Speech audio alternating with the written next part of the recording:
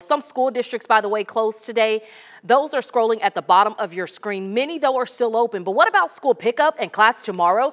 Chris Sadeghi is here. And Chris, the timing of the storm is making it hard for districts to really just make the call and a decision on all of this. Yeah, when the storm hit really made it a tricky call. Some decided to close today. Others decided to stay open. We wanted to get a better idea of what exactly guided those decisions. We will say it is a really good idea to make sure that you are paying attention to your district's social media page. In fact, look at this tweet from Cedar Hill at 7 this morning. They said that they were monitoring the weather and urged parents to make sure their contact info with the district was updated so that they would get the notifications when they happen. Now, we spent a lot of time this morning showing you crashes. You heard Tiffany, you heard Alex, the slick road conditions. So then why risk sending kids to and from school? We spoke to Dallas ISD and they told us they decided to hold a school day based on the info they had after meetings yesterday and again this morning, adding that they are meeting two times today to determine the logistics of not only the rest of this day, but tomorrow. DISD, though, will not release early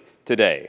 We did confirm that. Over on the west side of the Metroplex, Eagle Mountain Saginaw told us they made the decision to hold school at 6 a.m. this morning. The message to parents said that district leaders drove the roads throughout that district and determined them safe for travel. That was at 6 a.m. They encouraged drivers to avoid highways and expect delays in the bus pickup and drop off times. Already, we're seeing some of those districts that are holding class that they're trying to go ahead and cancel any after school events and activities like this one. Garland ISD, they said that they're going to go ahead and cancel those activities, but they also have already said within the last hour, Garland, they are going to cancel school tomorrow as well. That just came in.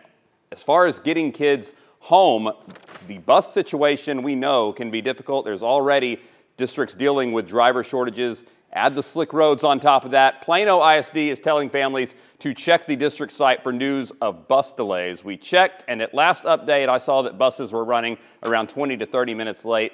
Like the districts, we will keep monitoring this weather, any announcement they might make about getting kids to and from schools safely today. So stay tuned to WFAA and WFAA.com. Tashar.